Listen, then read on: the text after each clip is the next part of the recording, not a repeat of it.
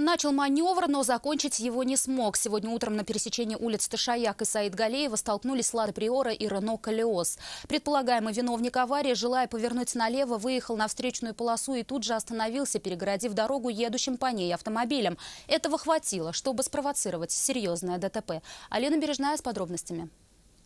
Ну, сами нет, слава богу, целы. Машины только вам. Участники аварии отделались только сильным испугом и не стали вызывать медиков. Вместо них пришлось вызывать эвакуаторы. В результате аварии обе машины оказались не на ходу. Столкновение было такой силы, что отечественный автомобиль разбил себе всю переднюю часть. Иномарке же пришелся удар в правый задний бок. Направлялся по улице Саид Галеева в сторону Кремлевской набережной. И он выехал налево, остановился. А как в последний момент, получается, выехал? Или... Да, он стоял, стоял и резко выехал и остановился.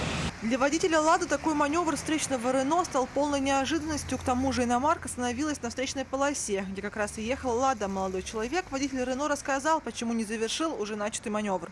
Там отсюда поворачивали машины, а оттуда они прямо едут. Э, Ну, хотел проехать. Не было на перекрестке машины, а потом он ехал на зеленый, и я остановился, и он в меня врезался в правый бок. Водитель «Рено» свою вину полностью признал. Теперь ему предстоит оплачивать ремонт собственного автомобиля из своего кармана. Алина Бережная, Рад Назипов, Адель Мулахметов. Вызов 112.